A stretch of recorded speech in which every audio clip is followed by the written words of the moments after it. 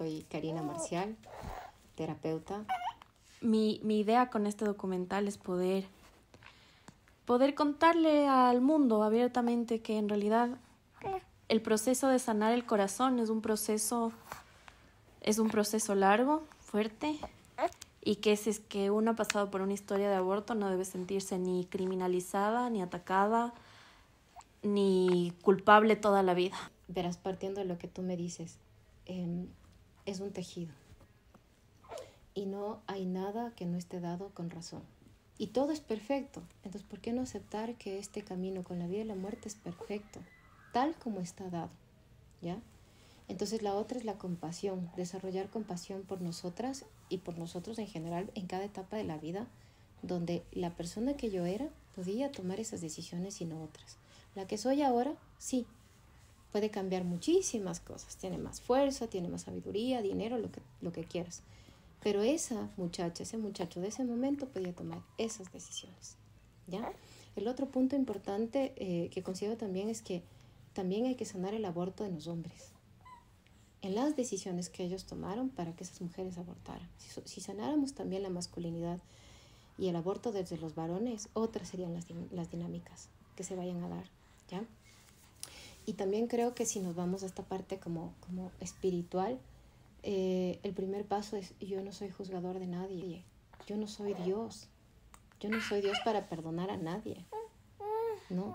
Yo soy tan humano como tú y tengo tantas bajezas guardadas como cualquier otro. Entonces desde ahí acompaño a que el otro mire qué sucedió, a que sane, a que devuelva, a que responsabilice, a que se quede con su parte, ¿ya? Y también proyecte desde la herida una salud emocional. Esta herida sanada me deja este aprendizaje. Y con esto voy a la vida, ¿no? Y la otra que, que así como tengo que integrar este hijo que no quería, que no sabía cómo, pero al final lo traje a la vida, también integro ese hijo que no pude traer a la vida. Y ahora me llevo bien. Y pues una relación amorosa con esa alma, si tú quieres, con ese espíritu. No, porque como todo esto es un debate muy espiritual, ¿no? Muy desde las religiones. En lo concreto, ¿yo puedo cuidar de ti? Yo podía, esa niña podía cuidar de ti. Y moviéndonos en lo espiritual, mi alma estaba dispuesta a recibirte